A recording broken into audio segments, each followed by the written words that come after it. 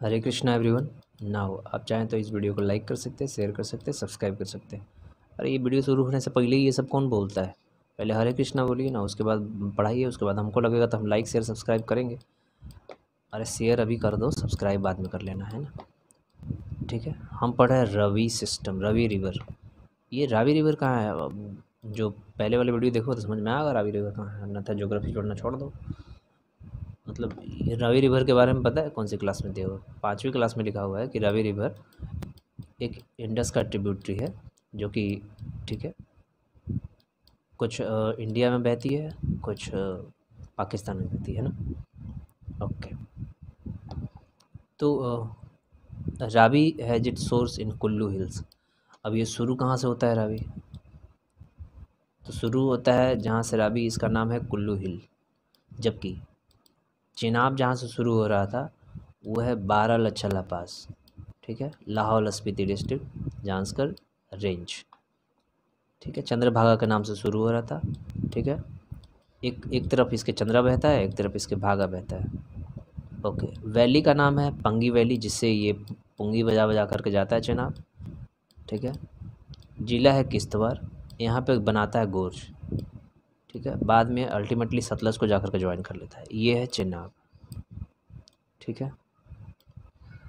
और चेनाब जब सतलज को ज्वाइन करता है तो इसमें पानी किसका होता है? तो एक तो झेलम का होता है। पहले पढ़ लिए कि ये झेलम का पानी रिसीव करता है। दूसरा रावी रिवर का भी पानी यही रिसीव करता है। ठीक है? चेनाब में, ऐसे चेनाब जा रहा है। इधर से झेलम का पानी आया चनाब में, इधर से रावी का पानी आया चनाब में, और ये फिर चल गया सतलज में।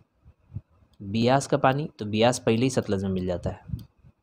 अरे हाँ ब्यास तो पहले ही सतलज में मिल जाता है। मतलब चेनाब इन दोनों का पानी लेकर के आता है, झेलम का और रावी का, और इधर ब्यास सतलज का, और फिर सतलज लेकर के चल जाता है इंडस में।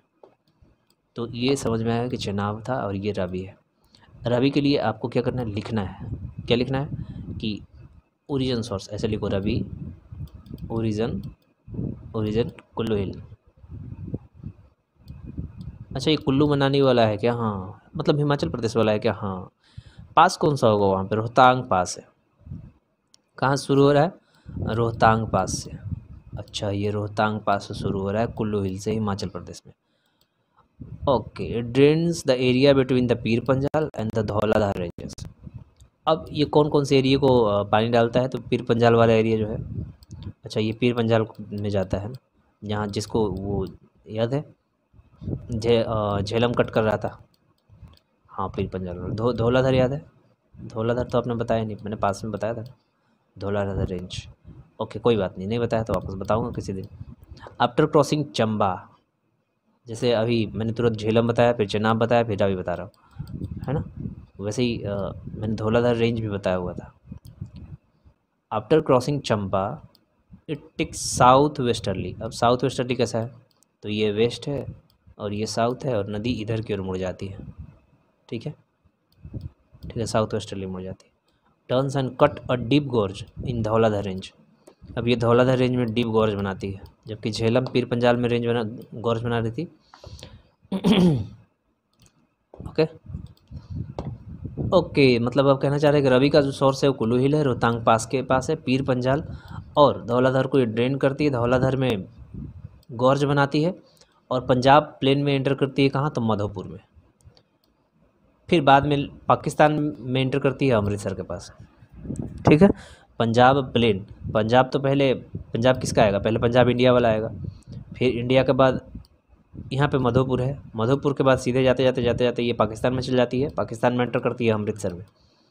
अच्छा ये अमृतसर में पाकिस्तान में चली जाती है राबी, और फिर ये चेनाब को ज्वाइन कर देती है। Okay it debouches into the Chenab a little above the Rangpur in Pakistan Punjab अब ये रंगपुर यहाँ पे है, और यहाँ पे जो ज्वाइन करती है डिबाउच कर जाती है किसमें तो चेनाब में।